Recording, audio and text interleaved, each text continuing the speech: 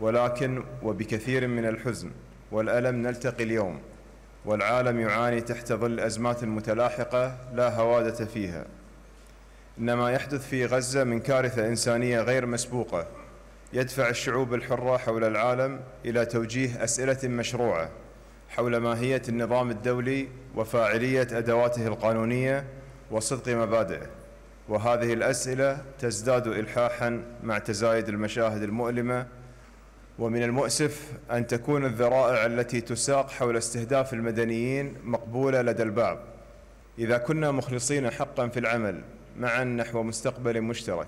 فالبداية هي الاعتراف الموجع بحقيقة الخلل في النظام العالمي. هذا الخلل الذي يسمح بالقبول باستدامة الصراع وعدم الوصول إلى حل.